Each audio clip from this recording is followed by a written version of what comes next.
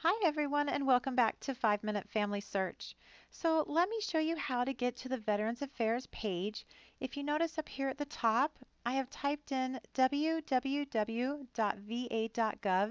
and when I do it's going to bring me to this page. Now as you can see there is a lot of information but we at this moment are just interested in searching for burials.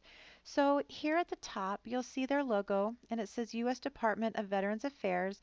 And underneath in this bar, there are different categories. There's health, there's benefits, and there's burials and memorials. Now I am just hovering my mouse above and when I do it'll open up all these folders and I'm just going to come down to where it says Nationwide Gravesite Locator and I'm going to go ahead and click on that.